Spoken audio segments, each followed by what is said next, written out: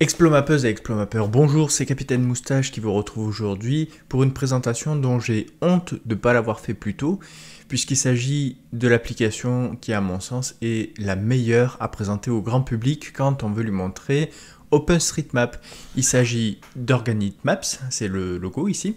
Donc c'est disponible sur mobile, sur Android et iOS, et ça se présente ainsi. Alors euh, je vous avais déjà parlé d'OSM avant, c'est basé un peu sur le même principe d'OSM ce sont des cartes basées sur votre téléphone, mais ici la différence c'est que l'application est beaucoup beaucoup plus simple à appréhender.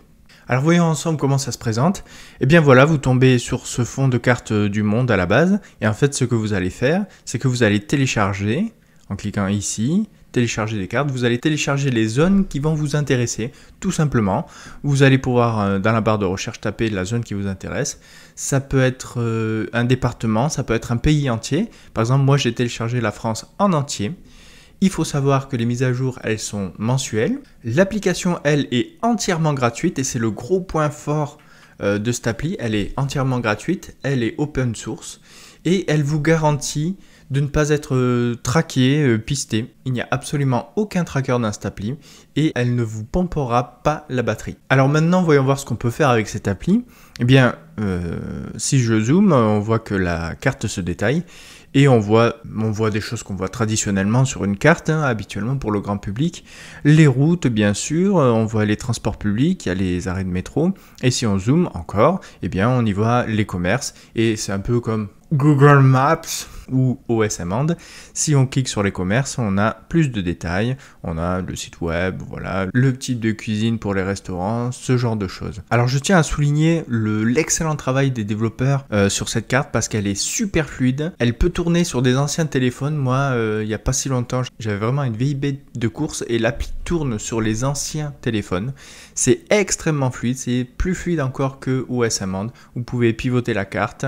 Là, vous avez un bouton en haut à droite pour revenir vers le nord. Voilà, c'est aussi simple que ça pour le côté navigation. Ensuite, pour le côté exploration des données, vous avez l'onglet recherche, et c'est là que ça devient intéressant, on retrouve un peu le même menu qu'OSM mais en beaucoup plus simplifié, avec des catégories suggérées pour la vie de tous les jours, que vous vouliez trouver un endroit pour manger, un hôtel, des épiceries, sites touristiques, etc. Et par exemple, si je cherche de l'eau, ouais, je suis un touriste, je cherche de l'eau, je clique là-dessus, là j'ai les bornes à proximité de là où j'ai zoomé sur la carte, et si je clique sur le bouton bleu en bas à droite, eh bien ça l'affiche directement sur la carte. Et voilà, on a activé la magie d'OpenStreetMap. La petite catégorie sympa aussi, un endroit pour manger, c'est très utile.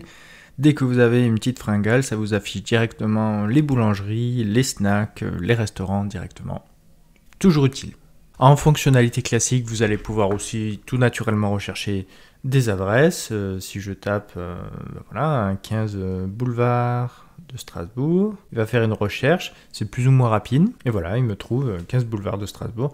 Donc euh, naturellement, dans OpenStreetMap, il y a encore d'énormes lacunes en France au, niveau des adresses.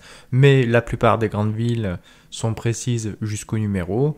Et euh, dans des zones, disons, plus rurales, ça sera généralement plus précis, par exemple, que Google Maps euh, surtout sur le nom des voix. Juste pour euh, dire, soyez pas surpris si vous n'avez pas de résultat. De toute manière, ça vous encourage à contribuer. Alors cette application est aussi capable de faire euh, du calcul d'itinéraire. Pour ça, c'est très très simple. Il suffit d'appuyer un endroit pour faire un départ. Par exemple, et eh bien, je fais depuis.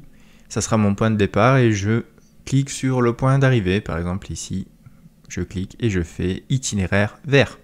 Et voilà, c'est aussi simple que ça. Vous avez quatre paramètres, voiture, piéton, transport public et vélo. Alors euh, pour autant que je sache, euh, voiture, piéton, vélo, euh, ça fait le job, hein, grosso modo. Et vous avez aussi l'onglet transport public qui, pour moi, est véritablement bluffant. Vous voyez, je suis à Rennes et il va me suggérer de prendre le métro tout naturellement. Sur la catégorie vélo, il va naturellement privilégier les pistes cyclables, les bandes cyclables, les choses comme ça, quitte à faire éventuellement de petits détours.